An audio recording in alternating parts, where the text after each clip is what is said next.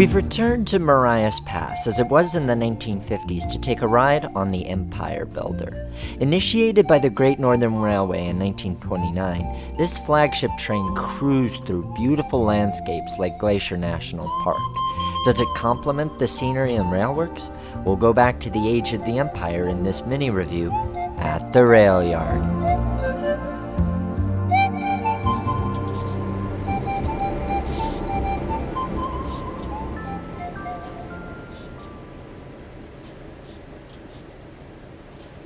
RSC's Empire Builder pack includes the train set from the late 1950s with accurately named cars featuring slick interior views.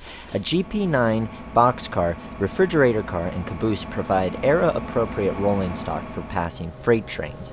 The activities are short, but they do feel more realistic than past efforts.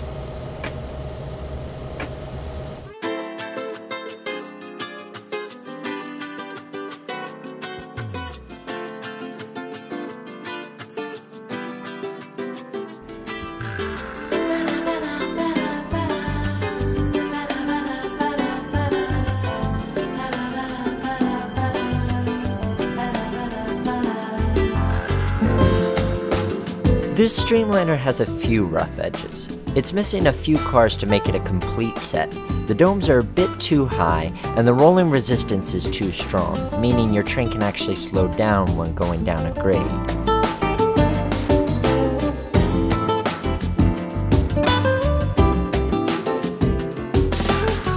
The detailing might not be complete, but this does give you the flavor of this train.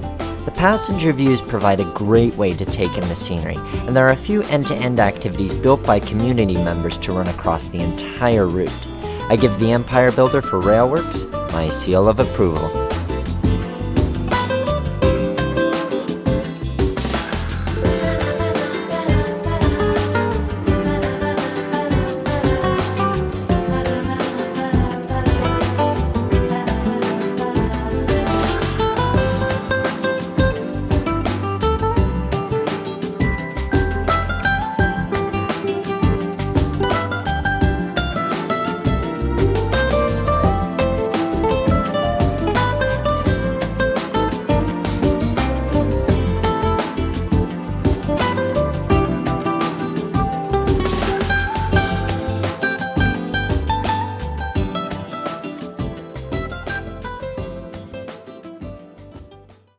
Initiated by the Great Northern Railway in 1929, this was a scenic way of traveling from Chicago. Yeah.